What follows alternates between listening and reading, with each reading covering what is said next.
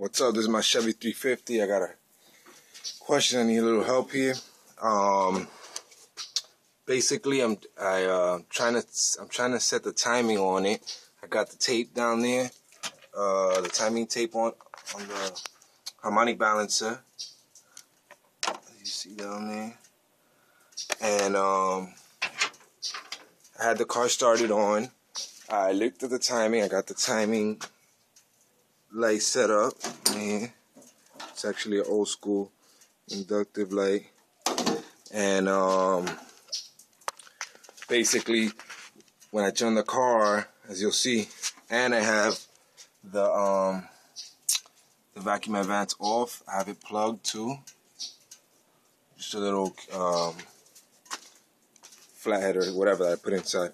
But um, basically, when I turn on the car and I try to time it, I'm at actually like about 30, 30 or 40. Um, that's where I'm at. And then every time I try to bring it down to about um, about 10, 12 degrees, it won't even make it. The car will basic, basically just shut off. So um, I'm gonna show you now what I mean.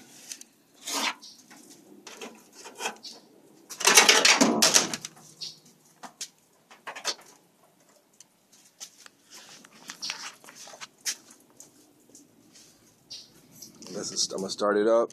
I'm gonna get up there. So,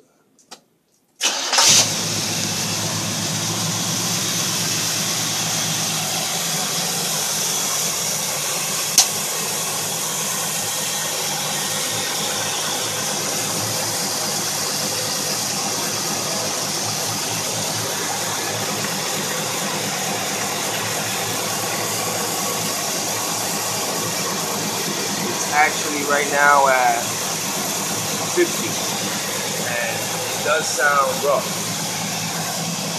My idle